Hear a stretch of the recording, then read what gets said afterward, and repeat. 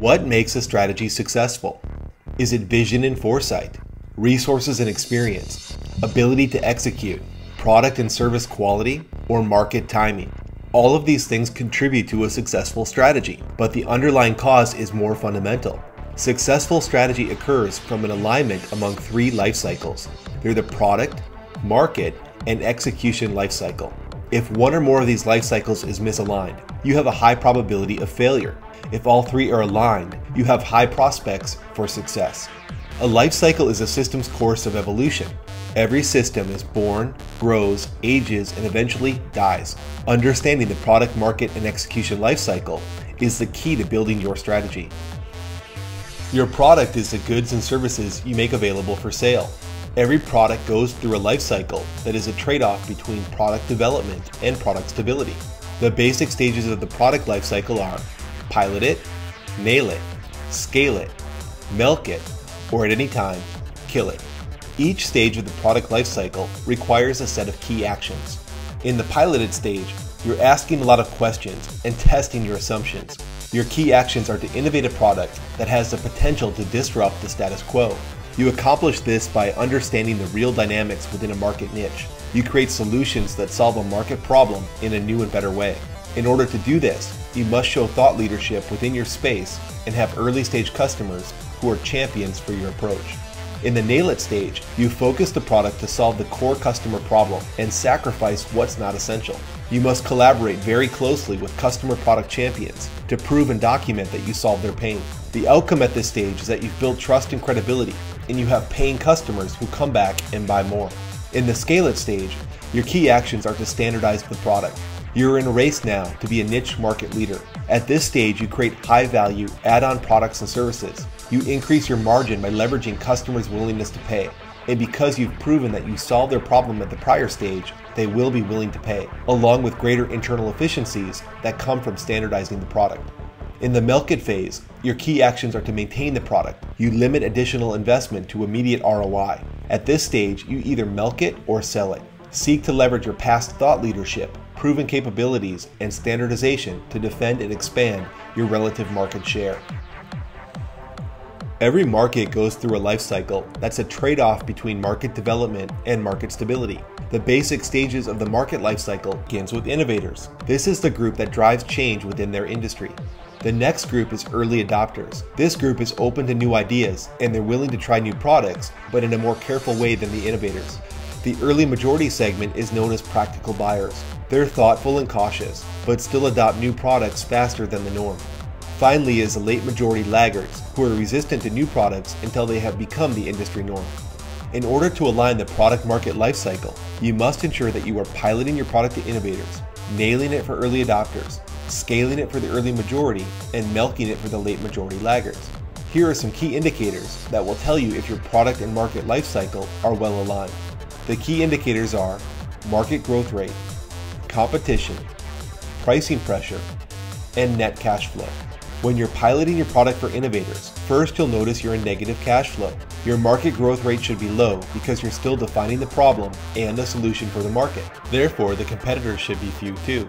Consequently, the pricing pressure will be high because you haven't defined the problem or the solution. You have no ability to charge enough money for it at this stage. As you're demonstrating thought leadership and winning the customer champion, you find the right opportunity and nail it for early adopters.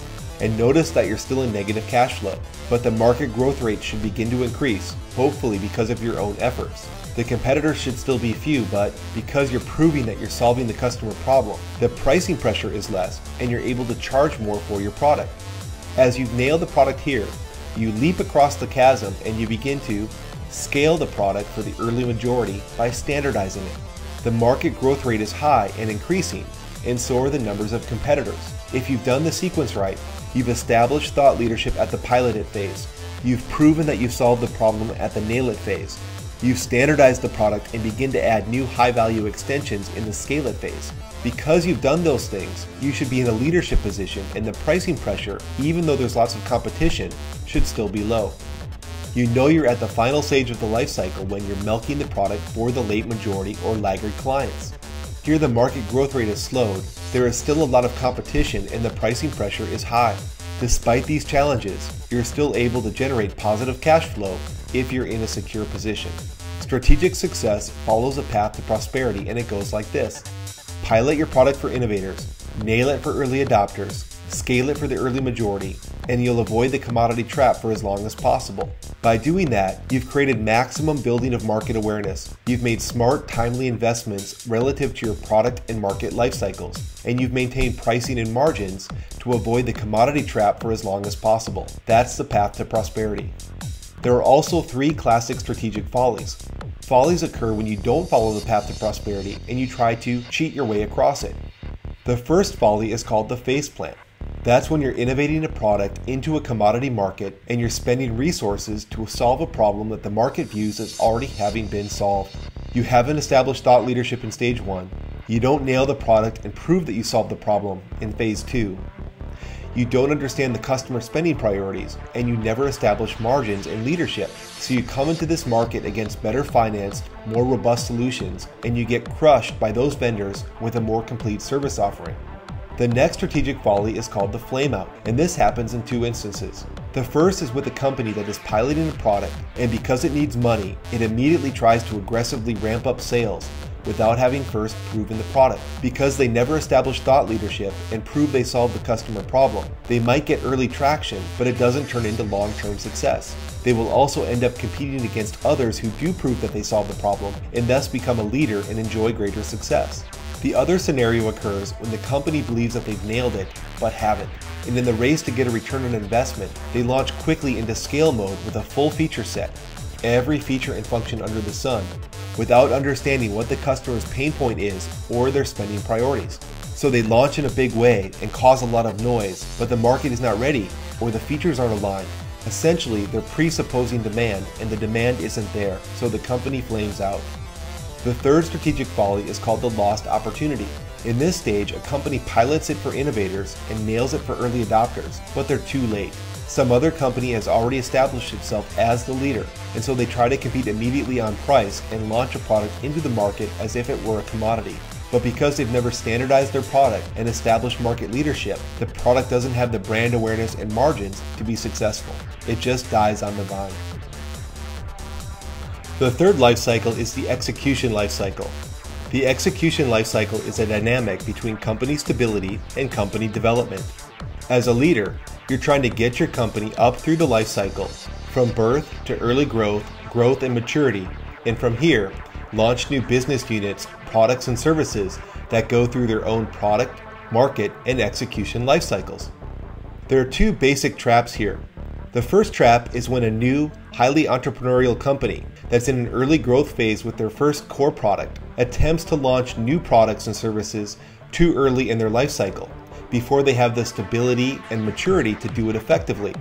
The other trap occurs when an aging company who has a large cash hoard attempts to acquire a smaller, growth oriented business. But the acquiring company is so aged, heavy, and stable, they smother the entrepreneurial zeal and don't allow these new life cycles to launch properly. So successful strategy comes from the alignment among the product, market, and execution life cycles. If all three are aligned, you have a high probability of success. If one or more are misaligned, if you try to shortcut the life cycle, you have a high chance of failure. Finally, this model presupposes that there are three basic requirements for any strategy. First, the strategy has to be aligned with the company vision and values.